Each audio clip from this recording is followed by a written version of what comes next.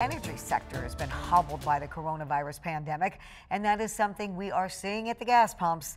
Consumer demand during spring break, a traditionally busy time for travel, simply isn't there. And while that might be helping with household budgets with lower fuel prices, there could be long term ramifications. 13 on your side's John Hogan explains. The price for a gallon of regular unleaded gasoline has dropped to its lowest level in more than four years, and that price drop is expected to continue.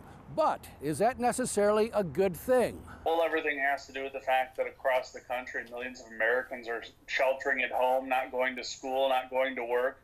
Uh, and barely getting out for really anything. Patrick DeHaan is with GasBuddy.com.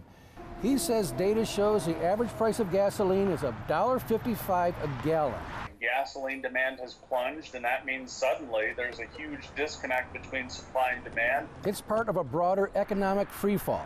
Oil prices have tanked as a result of this being a global uh, pandemic. There are repercussions. One oil producer has already filed for bankruptcy. Oil companies will go uh, belly up, and then U.S. production numbers fall, and that leaves us more susceptible uh, to global producers. DeHaan says he expects prices to continue to drop and not return to pre-pandemic levels for several months or even until the end of 2020. If prices remain this low for longer, uh, it's going to undermine our energy independence and could lead to a slingshot in gas prices down the road. DeHaan urges motorists not to try to hoard gasoline and he recommends bringing hand sanitizer with you when you fill up at the pumps.